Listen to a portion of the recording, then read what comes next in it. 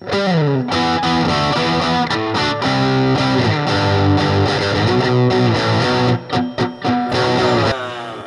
こいいギタリスト竹下敦です。本日ね双子玉川にある、えー島村楽器さんにちょっとお邪魔してきました。まずねあの非常に島村楽器さんオリジナルのピックがいい。こちら。ヒストリーシリーズのねえーこの三角ピックなんですけどね。あんまり私三角ピックっていい印象なかったんです。ティアドロップの方が好きだったんですけどあのこれが弾きやすいんですよ。これ今日ね島村楽器さんであの購入いたしました。この色のストラップいいでしょうこれ。ね。なんつった小豆色っていうのかな。これがねこのポール・リード・スミスのねほら。似合うでしょこれ。これねジェイク・サイダーがねあのピックアップ変えてくれたんですけどね。これもねあの店長さんだね。とてもねこれ。いい音がするって褒めてくださいました。でこれね何がいいってねキレがいいんですよ。うん。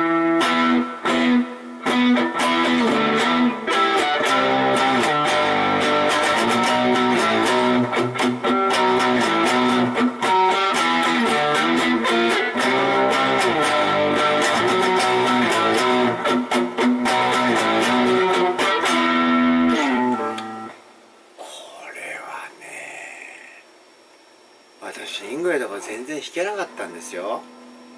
でもねあの弾くイングレっていうかあのカラピックがすごいいいんですよね。こういう。ね。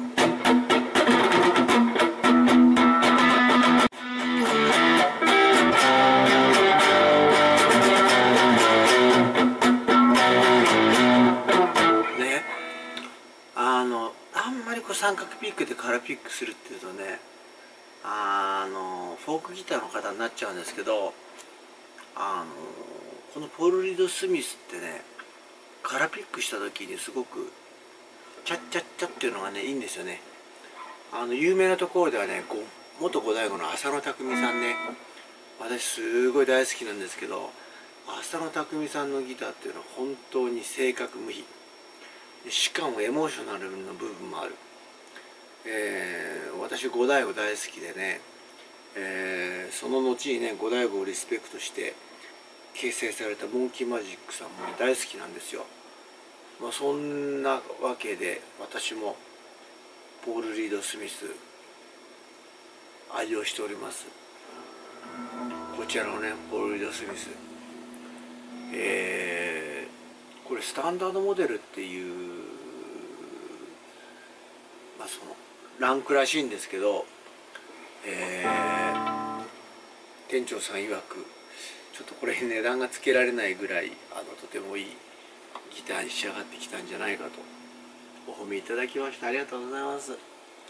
でねちょっとネックに若干一般的なネックの反り方よりはまあ、若干こうねちょっと反っていたんでそこを直しましたと。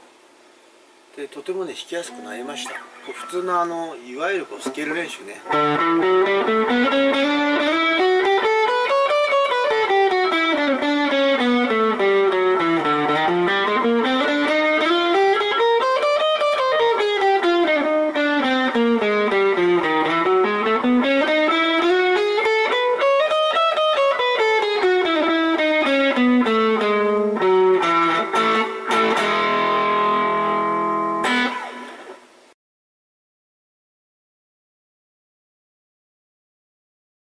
私ねゼロ級のねスあのスーパーライトゲージがとても苦手だったんですけどそれでもねこのポール・リリー・スミスになってから弾けるようになったんですね、えー次回ねあのまあついにあの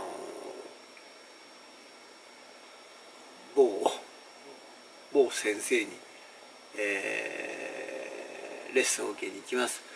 その時にはねあのきちんと、あの正式に、えー、レッスンが開始するんでたらお名前もご紹介したいし、えー、どのようなことをね教わったのか、えー、それをね皆さんにもお伝えしたいと思いますそれでは、えー、かっこいいギタリスト竹下敦でした See you soon!